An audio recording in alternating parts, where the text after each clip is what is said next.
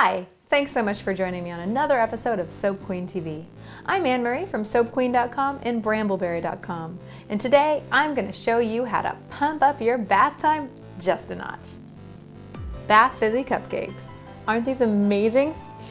They smell so good, they look so good, they're practically looking edible. Maybe a do not eat sign by these is a good idea.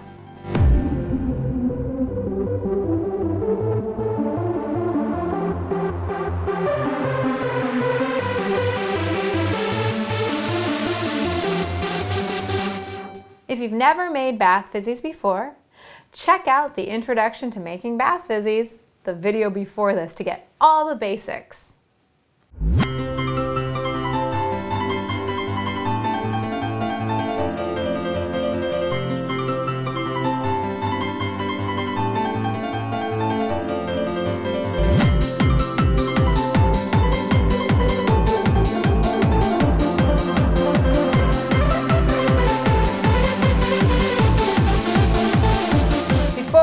I'm going to take two seconds and line this cupcake mold with cupcake liners.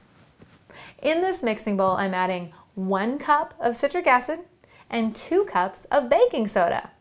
Work this around with your hands to get rid of any clumps, because remember, clumps equal warts in your finished bath bombs.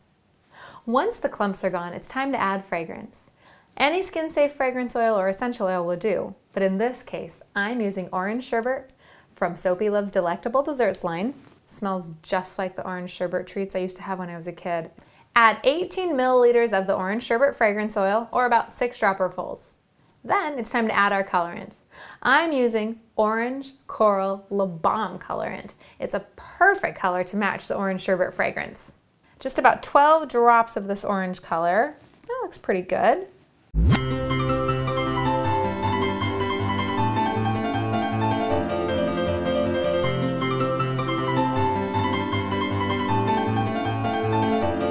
Now that this is the consistency I want, it's time to get it into our cupcake mold. If you don't have a silicone cupcake mold, it's okay to use a regular metal baking cupcake tin. Just make sure whatever you're using to line it with your cupcake liners first, or else those cupcake bath fizzies are never coming out. Pack these in as tightly as possible. Now keep adding more until you have a nice rounded top. Normally with bath fizzies, I ask you to make them flush not in this case, we're gonna use the rounded top to help mound up that icing later. That was the last one. Now we're gonna set these aside for five to 10 minutes while we make our frosting. The frosting is really easy to make. You can either use this nice electric mixer like I'm using, or you can use a stick blender, which is commonly used for making whipped cream, or you could use a whisk and a lot of elbow grease. The first step is to blend meringue powder with water. I'm using one and a half cups of meringue powder and about half a cup of warm water. Turn your mixer on to low. We don't want any of that powder going poof all over the place.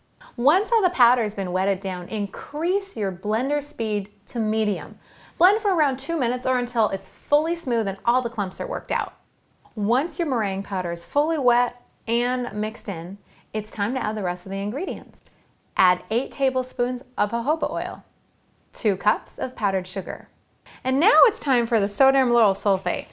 Now, SLS tickles the back of my throat, so I like to use a mask when working with SLS, and I recommend you do the same. One and three-fourths cup SLS. And finally, one and a half teaspoons of cream of tartar. Now, because this is very, very powdery, what tends to happen is if you turn on the mixer right now, all the powder goes poof, poof, poof, poof, poof. And because the SLS is so irritating to nostrils and throats, I don't like that. So we're gonna do the extra step of hand mixing in slowly. If your mixer is anything like mine, it tends not to get all the way out to the sides or down to the bottom.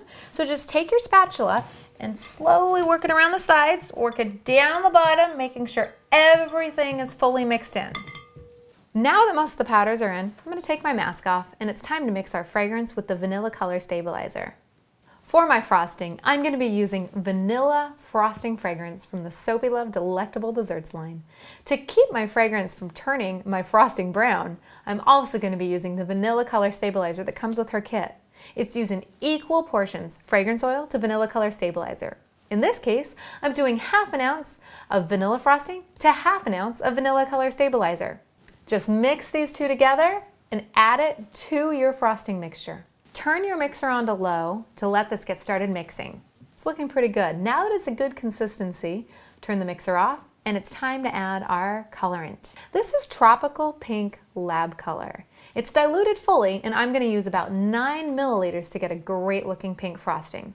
The colorant's in, the fragrance is in, just keep mixing on medium for a couple minutes.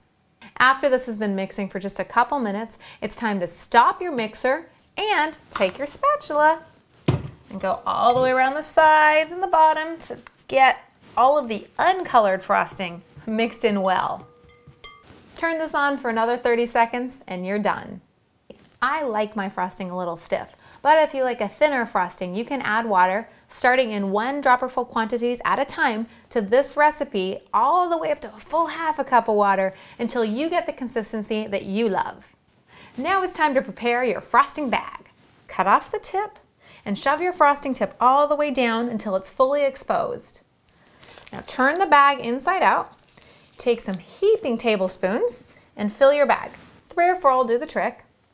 Now press all the frosting forward. Don't let it come out the tip though, just up until there.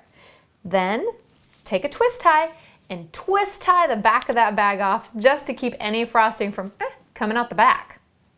Hold the frosting bag like this between your thumb and your forefinger. See how you can direct the frosting bag with your left hand while squeezing with your right?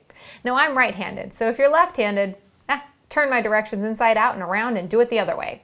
Now it's time to frost. Here we go.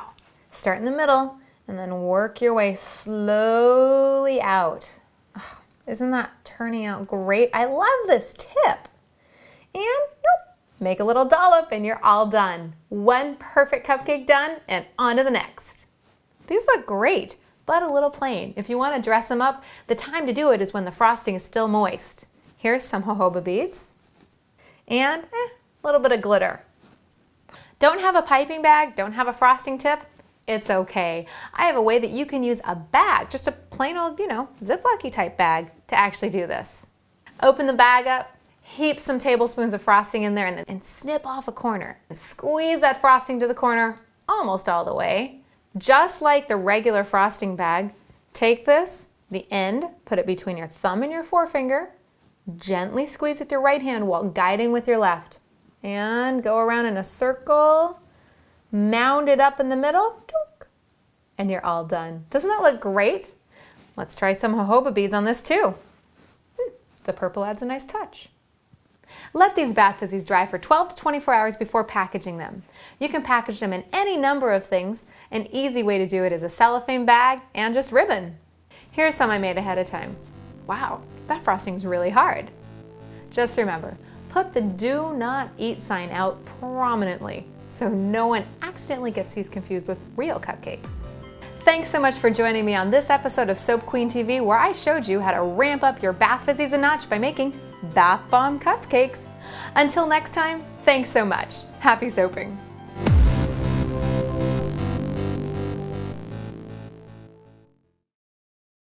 Not too wide though, or else your frosting will have very wide splooches.